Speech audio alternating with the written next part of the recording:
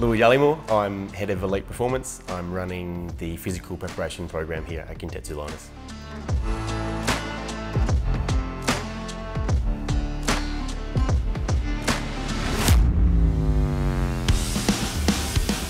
This is my 10th season.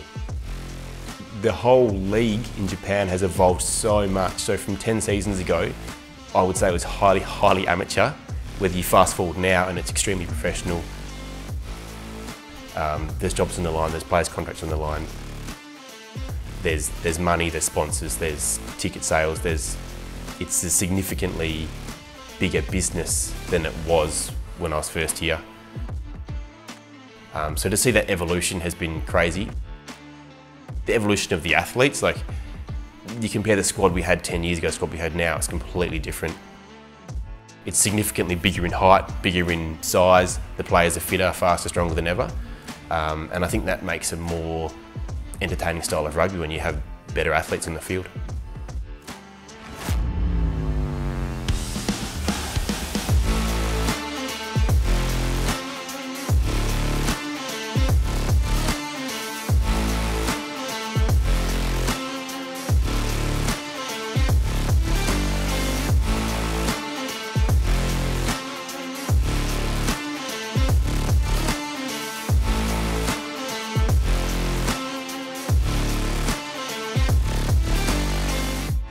We're really trying to streamline a lot of what we're doing uh, and really boil down to what matters and let's focus intensely on that.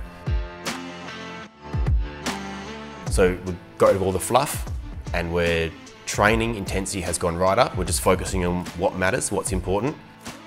Let's prepare these players for rugby and let's just drill down on that and do it with a higher level of intensity and focus.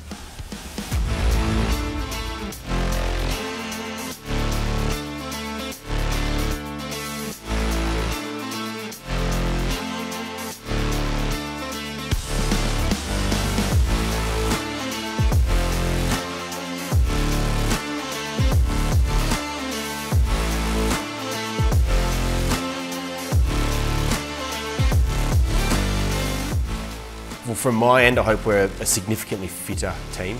I hope we're outrunning teams, we're outscoring teams, and I hope hopefully a lot of that is based on physicality. Um, and honestly, I think we will win second div and be promoted again.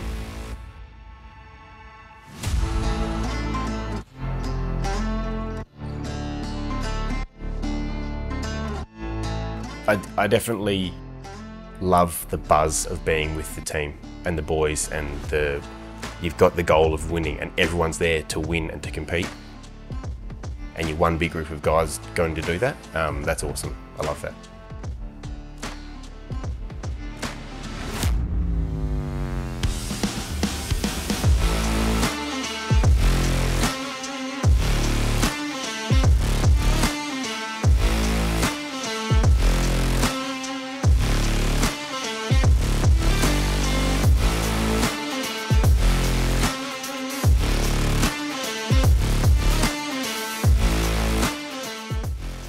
that's the one goal for the team is is promotion. Like it's either it's do or die.